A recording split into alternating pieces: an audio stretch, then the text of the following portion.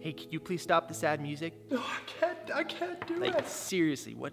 Sorry. Just give us a second, okay? Tim, don't you know, like, this is a blacksmithing video? We're not talking. What, like, why are we playing this sappy music? Jules, all that stuff is out in the rain. Yeah, you know what? That's too bad. You made that decision. Now, suck it up, pull yourself together. Let's get this show on the road. I can't do it. I can't do Okay? I'm so sorry you had to see that. Hey, welcome here. So, yep, we're pouring the concrete, the Power Hammer Foundation for Béché Power Hammer is going in today. I'm fired up because this is a monumental moment in building this new blacksmithing shop here in Alberta. Thanks for being here. Let's, um, why don't we jump to the office? I'll quickly show you the Power Hammer Foundation drawings, what we're trying to get after, and let's execute it today. Here we go. So this is the original documentation I got when I purchased the hammer. This came from the uh, previous owner who brought the hammer from Germany in 2000. This is all the back and forth as he had it refurbished by Béché before he brought it here to Canada. Look at this. That's a 2000 kg power hammer. Look at these guys, how small they look. Can you imagine the size of that? Wow. This is the uh, blueprint for the foundation. Let me show you a couple things here. So this is the power hammer here. This is grade level, floor level of the shop. And this all in here is concrete. So as you can see here, this is the anvil and it's actually set underneath the ground.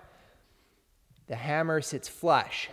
The problem with this for me is because I'm such a tall guy is way too low. So last time I did this, I actually made this just a little bit under the ground. I'm gonna go even further this time and this is gonna be sitting flush on the floor and this is gonna be then raised up to maintain that relationship between hammer and anvil so that the ram doesn't overextend and destroy the hammer. Let's jump back to the shop and get working on this foundation.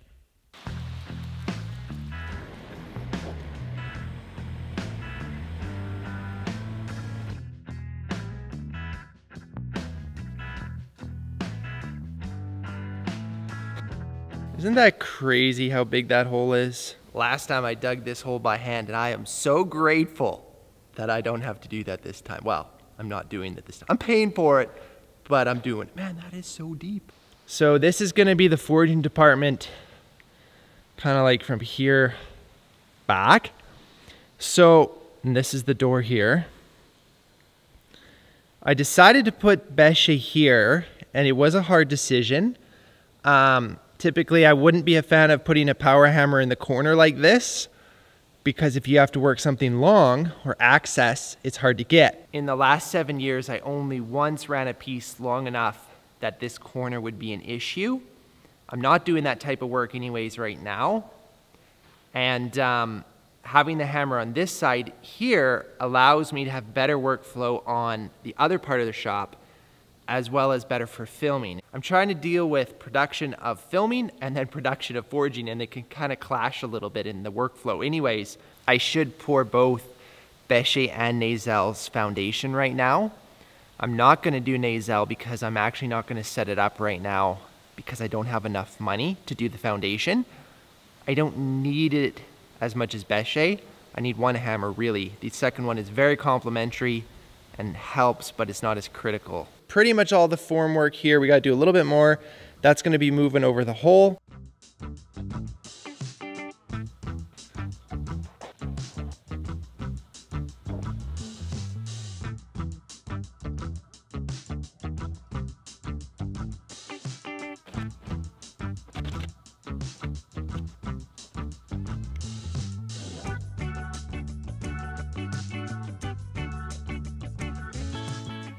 So right now the thing is sitting level, perfect height. So this would be the top of the floor when the shop is finished, which lines up with that board over there to the bottom side of it. And then this part here is the raised part of the power hammer. And then I actually have to mount this whole thing securely down. It would just float away or drift away.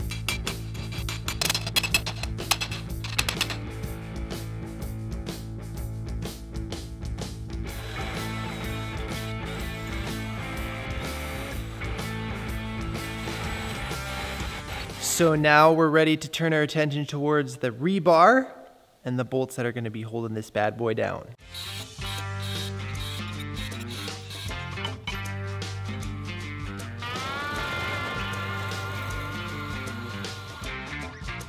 But I cut my square pipe inch and a half short. Good job, Tim. Gonna figure that out.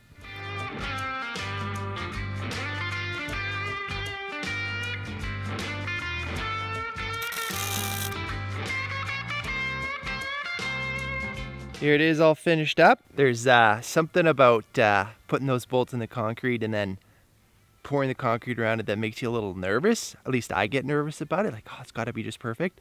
And when I make a stupid little mistake like that, like an inch off, it doesn't help to strengthen my confidence, you know?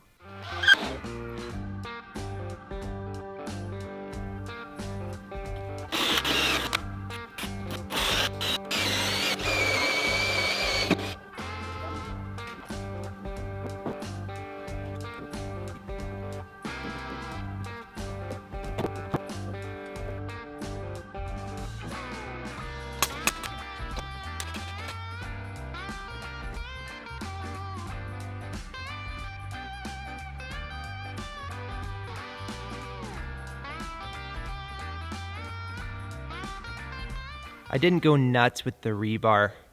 I don't even know if you really need it. It's such a big chunk. But anyways, rebar's in. I might put a little bit more in. Got two more lengths if I have time, but I'm gonna get on to uh, more pressing things. Check out what just arrived, concrete!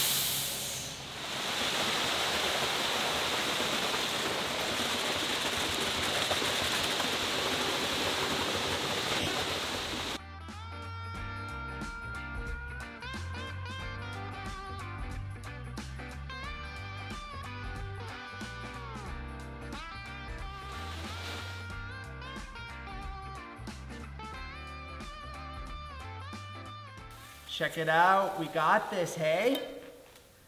Pretty stoked on how this is all coming together. Had a, a little bit of a scare because the bolts started to lift, which is not good, but I was able to stand on top of them and they look good and true now. So we're just smoothing up here and I think we got this thing beat. I'm just gonna let this sit probably for I'll probably let it sit for a week before I knock the forms off. Once the forms are off, I still gotta let it sit for another 30 days or 30 days from now when we poured it. And then uh, I'm gonna put on some uh, leveling epoxy right on the top because I know no matter how good we try with that, nothing's ever gonna work out perfect and I'm kinda tired of that. I've done that on the last two power hammers. I'm just saying that as a disclaimer so it doesn't look like I've made a mistake when we get to that point. So it's been a week now, and I just started pulling off the forms, the first two boards, and I got a huge, huge mistake. This is super bad. Look at this. Other side's pretty good though. Totally should not have cheaped out. I should have got a vibrator. Well, let's get the rest off and then see how everything looks and we'll go from there.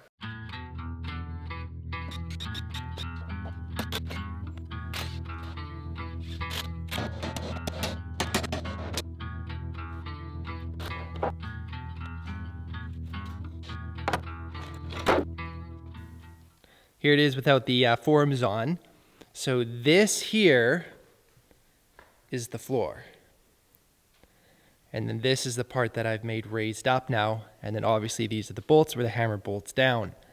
So this here, which shows my poorness of being able to pour concrete well, well, that really shows it.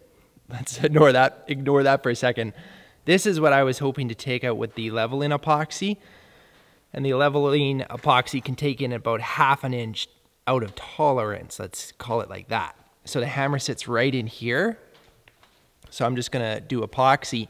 So in thinking about this here, even though I'm totally bummed out about it, embarrassed to show this on YouTube, um, I think it might not be actually as bad as I'm thinking it originally was gonna be because the hammer only sits in here on this section. This doesn't matter. And um, the leveling epoxy, like I said, can only take about half an inch out of play. So I might get some of the epoxy that you would be embedding anchors into concrete because that stuff is so good and just put it in here, build it up essentially, and then use the leveling epoxy. And then when it's all bolted down, I don't think it's going to be that big of a deal. Even though, like, that's the best fix I can have. If you have any ideas, I'm open to it. But that's kind of what I'm thinking. You know, it sits on wood as well, so that'll help level it all out. So, pretty cool looking though, right? Pretty cool looking. But make no mistake, hey, it's a lot of work setting these bad boys up. But pre-orders for the cross peen hammers are open on my website. Pre-orders for the axes and hatchets, that's the 1919 Blackhawk hatchet, Blackhawk axe, those are open on my website. And also the collaboration wallet with Colin from Alibi Leather Goods. He is caught up on his orders and has open slots. So if you want to get your Keep the Forge Lit wallet, make sure to check out his website. I'm going to link mine and his below this video so you can take a look at that. I super appreciate you watching. Thank you to all of you who are coming along on this fun adventure and stressful of setting up the new shop. Uh, if you haven't subscribed to the channel, I would love it if you would consider doing that. And as always, I look forward to seeing you in the next video. Till then, keep the forge lit, hey? Over and out. Check it out. Yesterday we put in the new power to the shop. Got a new pole and supply hooked up, 200 amps right here. Look at the wire size. This goes to the shop. Big wires because we need a lot.